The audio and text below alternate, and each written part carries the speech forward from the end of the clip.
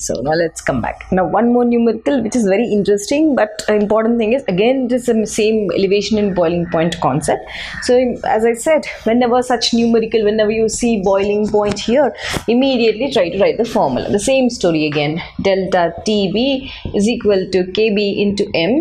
Further when you write the formula which i've already told in two earlier two videos capital m mol- molecular mass that is your molar mass of the solute which is equal to kb by delta tb into w2 by w1 this is for the solute weight. This is for the solvent weight. And that solvent weight should always be in kg simple let's come back and see.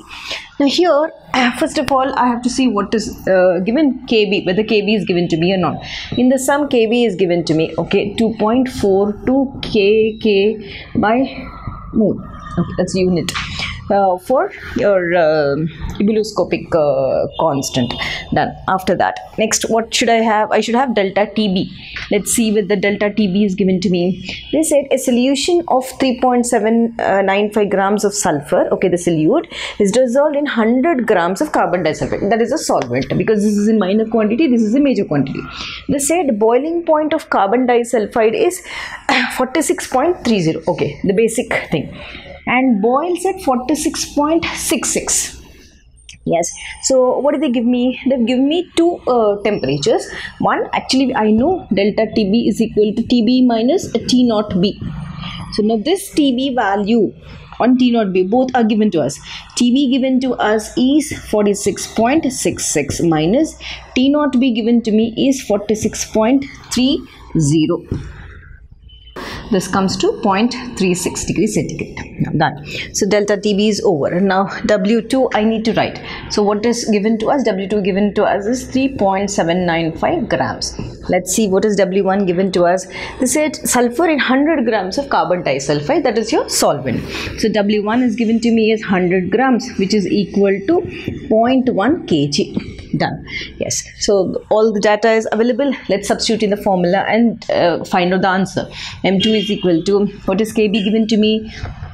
2.42 kk by mole in into what is w2 given to me? It is 3.795 grams divided by what is delta tb given to me? It is given to me i've got the answer of 0.36 into what is w1 w1 is 0.1 kg. Simple isn't it? Done. Now once you get everything once you solve you get uh, an answer of almost you know 255.1 okay gram per mole. This is over. But i still have to solve the numerical because they've asked me what is the formula of sulfur molecule?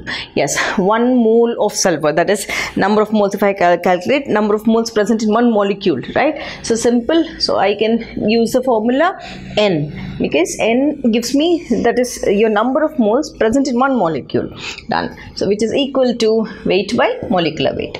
So sulfur weight weight what did i get? I got it as 255.1 kilogram kilo uh, per mole.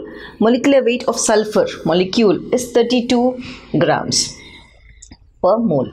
So gram per mole gram per mole gets cancelled and i get an answer of almost 7.9 or 6 or something which is approximately uh, with the significant figures i make it equal to 8 so the formula they want us to write or the formula which i've got is 8 that is why sulfur exists as 8 s8 molecule. This is important. S8 we have got in this way. So what what answers did we get? We have got two answers. One is m2 that is molar mass of the solute equal to 255.1 gram per mole and your molecule formula which i've got is S8. Please try to mention it like this so that directly you can get mark there also.